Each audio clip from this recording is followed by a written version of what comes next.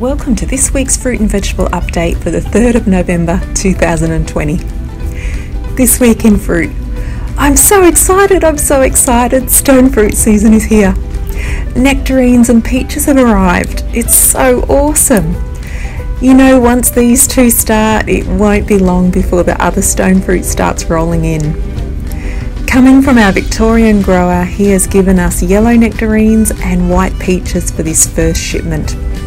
The fruit is still firm and looks good, great for the shop shelf.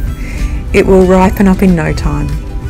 Going off last year's season with this grower, it should taste pretty delicious too.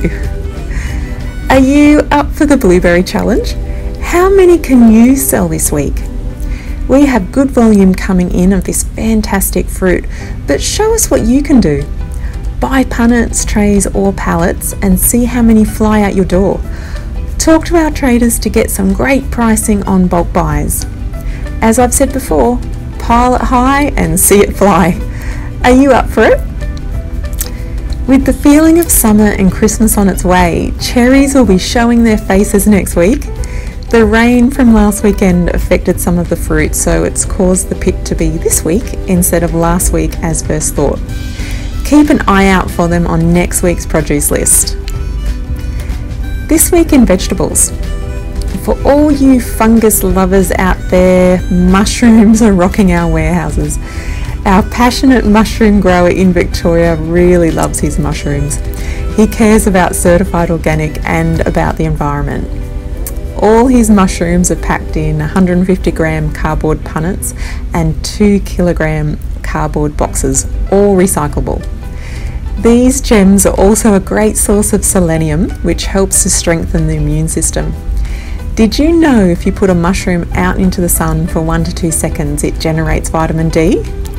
So don't stay in the dark, get out into the light and get yourself some today. Going green, we have green capsicums in the house. After such a long time with none available, it's so good to see them again. They are still only limited quantities from the grower, but hang in there, as I'm sure the weeks progress, they will become more abundant. Keeping on the green theme, there is plenty of Lebanese cucumbers, zucchinis, cos lettuce and kale available. Go green on the inside to keep you green on the outside. Best value buys this week are Lebanese cucumbers and blueberries.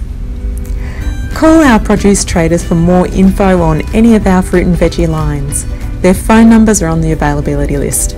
Have a great week and eat organic.